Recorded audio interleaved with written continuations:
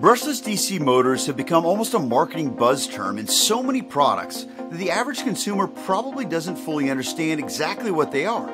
But there's no doubt that they've changed the way we as engineers look at the mechanical side of our designs.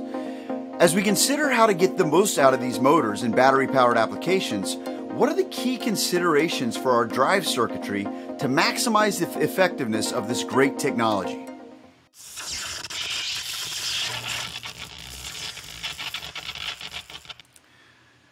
As the world moves more towards the electrification of all products and the decarbonization of things that we normally would consider being run by an engine, we're seeing things like drones, tools, lawn equipment, uh, certainly our vehicles with the electrification of vehicles, um, and then also robotics really relying a lot more on brushless DC motors that's a really exciting development for all of us. But as engineers, we've got to consider how do we actually maximize the efficiency of those systems, um, and then beyond that, with so many of these these systems no longer being attached to wall power but being powered by batteries themselves.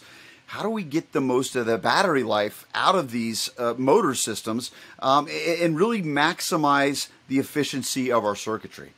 Today, I have the privilege of speaking with Tom Wolf, who's Senior Technical Applications Engineer at Nexperia and an expert in brushless DC motors. Tom, thanks so much for joining me on The Current today. I really appreciate you taking the time. Thanks, Todd.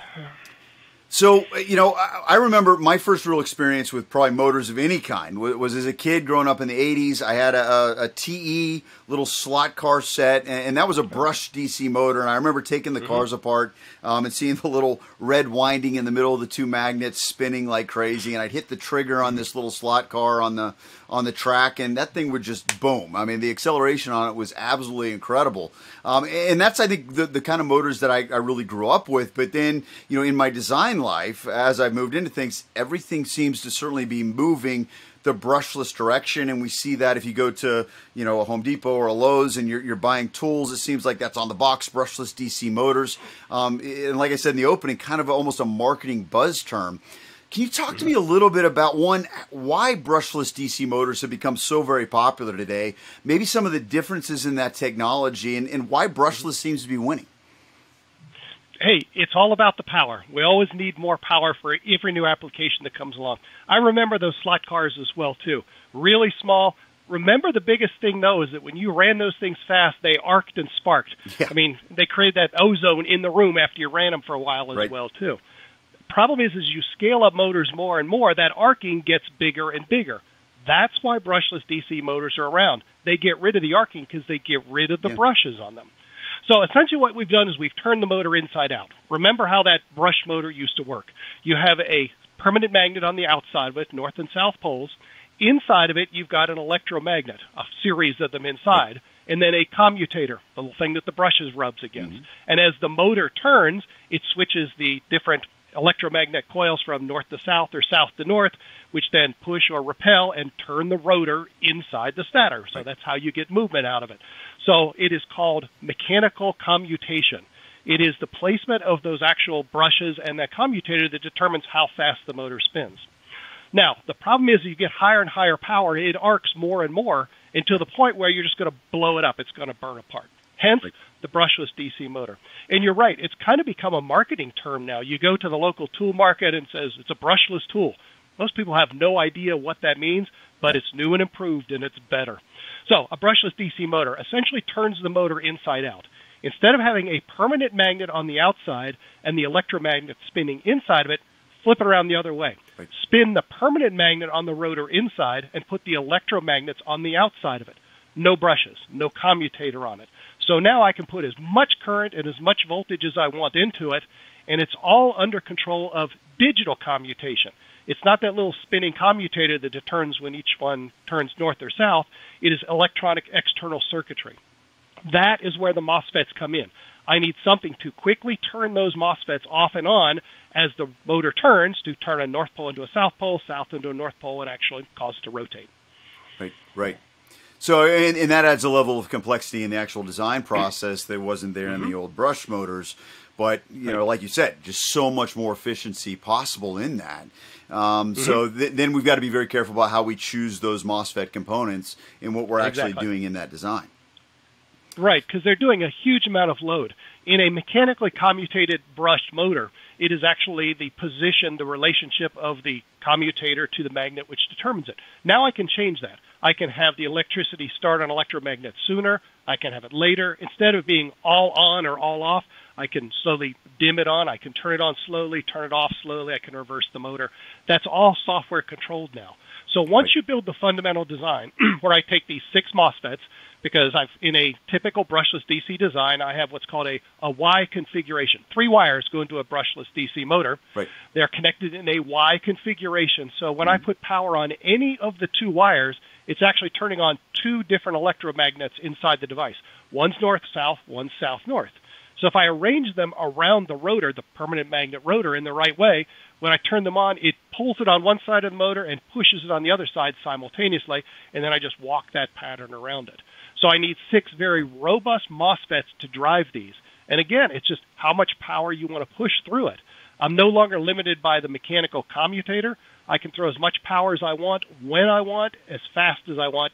It's now become a, a software. It's truly a digitally controlled motor. Right, right and then you're getting into really doing a lot of you know how we actually maximize the efficiency in that in the code, mm-hmm. making sure you've got the right algorithms to actually spin that motor and, exactly. and change things mm-hmm. as you're accelerating the speed, uh, things along those lines. But the circuitry right. itself, outside of just adding a firmware element or software element to it, mm-hmm. you also have a little bit more complex circuit in, in actually driving those electromagnets.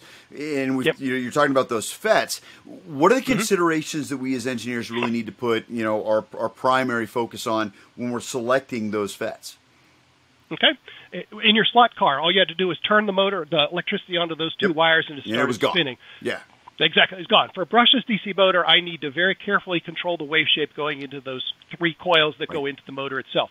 Six MOSFETs, and I can turn either one of those sets of coils north-south or south-north. So I need to pick MOSFETs that can drive as much voltage and as much current in a good thermal solution to drive that device.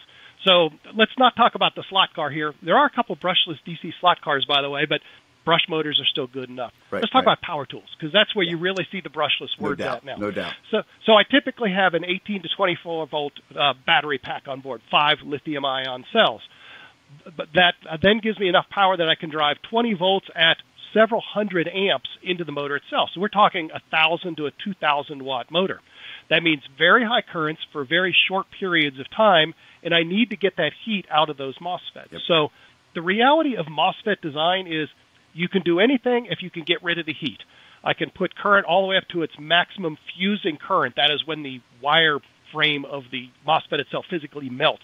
But up to that, as long as I can get the voltage and the current through it and get the heat out, I can continue to drive it faster and faster.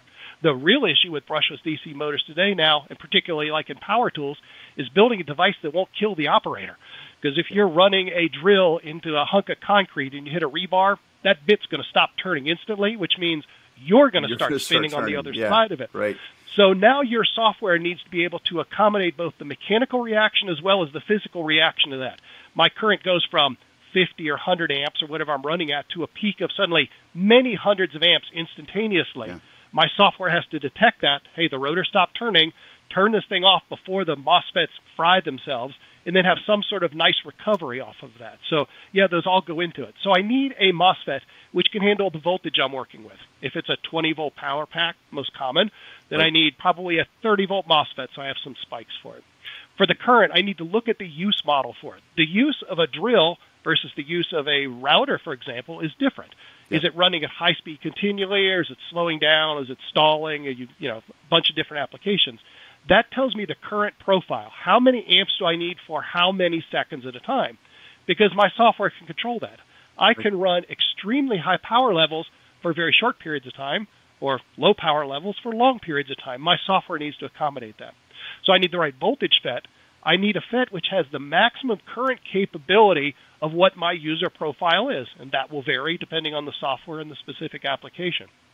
And then ultimately, I need a MOSFET which can get the heat out it will always get hot. Running current through a MOSFET, no matter how low your RDS on is, will always create heat. I need a good package solution so that heat can quickly get from the inside the silicon, inside the package itself, to the outside, to the heat sink, usually to the frame of the drill or the tool itself, so I can dissipate the heat out of it. So that's what I'm looking for. Voltage, current, and how do I get the temperature out? That's Yep. what helps me pick my MOSFET. Yeah, yeah. No, no doubt about it. And, and you, you mentioned the RDS on and the fact that Mm-hmm. you know the lower the RDS on is, the less heat that you're going to generate, and the more efficient in theory the system could be. And, and certainly where we're seeing a lot of technology go these days in that arena is, you know, if I want the lowest possible RDS on, I've got to go silicon carbide. I've got to go GaN. Um, things Yep. along those lines. That's becoming the real popular technology. Is that really where everything's going to go, or do you still see a place out there for, for power silicon FETs as well? hmm It's a chase to zero. RDS on, the resistance between the drain and the source, how low can I get? Yep. The best parts now are about one half of one milliohm, one half of one thousandth of one ohm.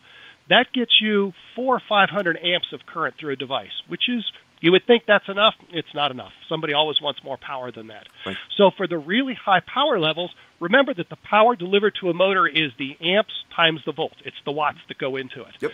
If I can increase the voltage, I can decrease the current and still deliver the number of watts.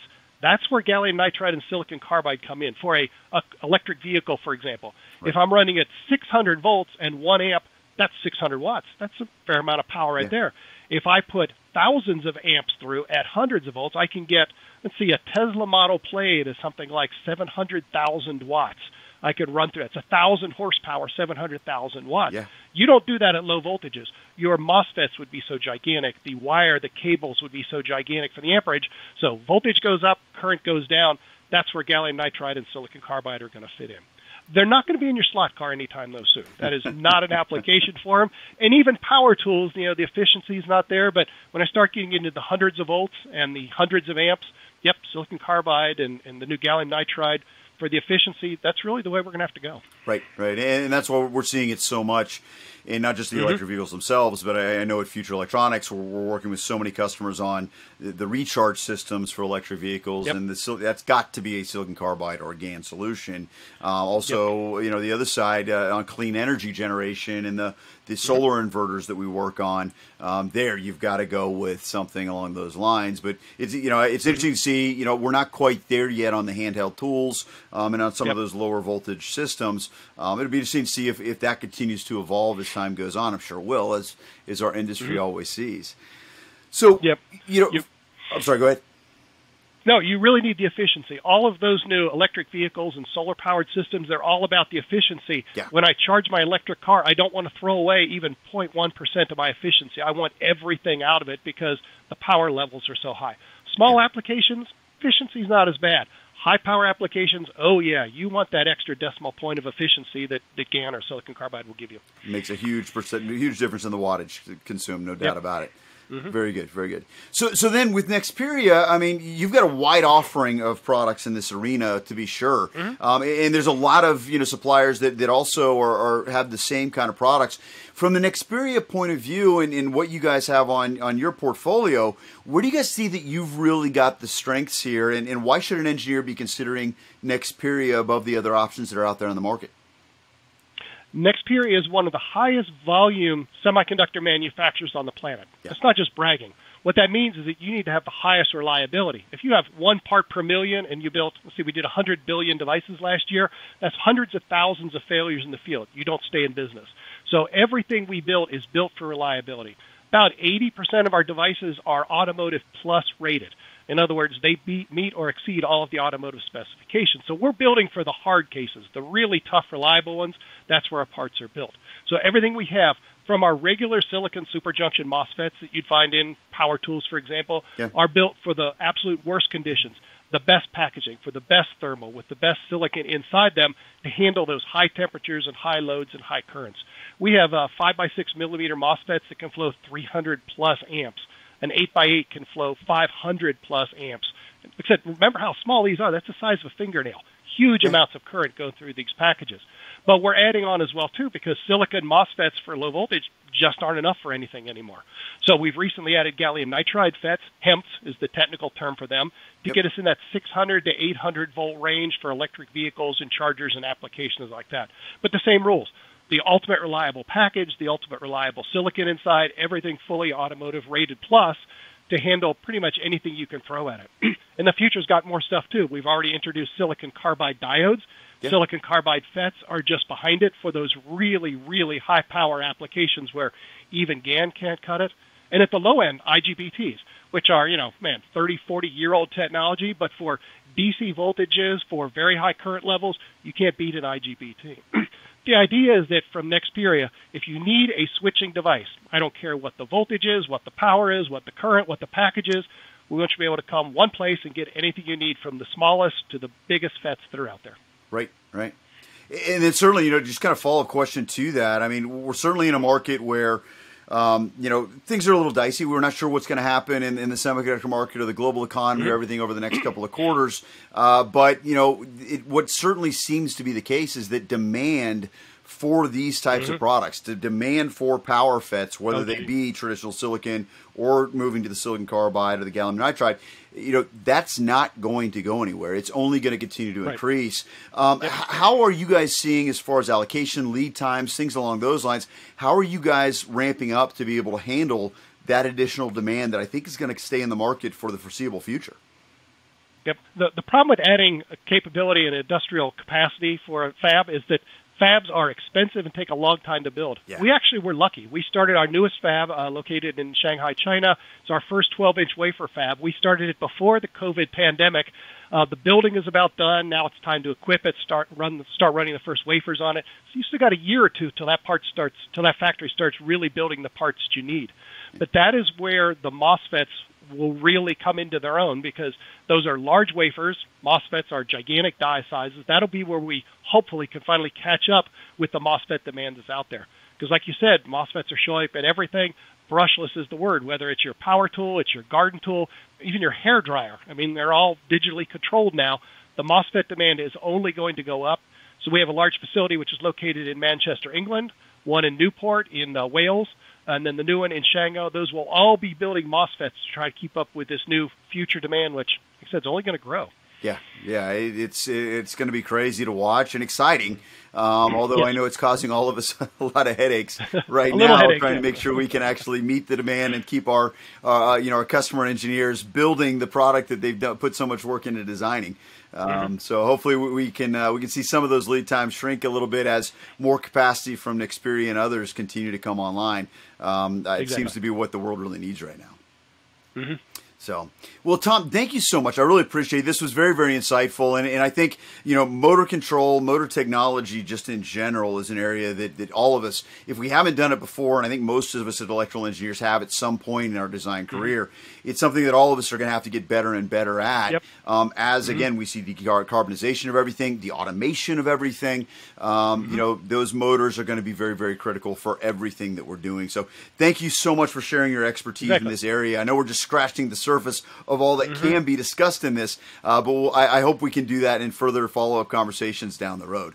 Um, exactly. Thanks so much to our audience for joining us on the current. Uh, we're excited to kick off season three, um, and uh, hope you'll join us uh, for our third season of this series. Uh, really appreciate your continued viewing.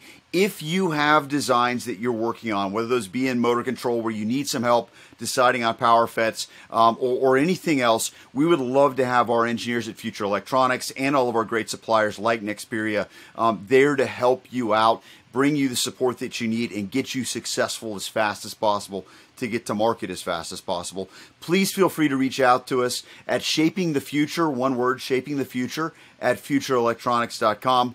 We'll hook you up with some of our local engineers around the world, get you in touch with uh, with engineers at our suppliers like Tom, um, and get you up and running. Um, so thanks so much for joining us. Look forward to spending more time with you in season season three of the current, and we'll see you next time.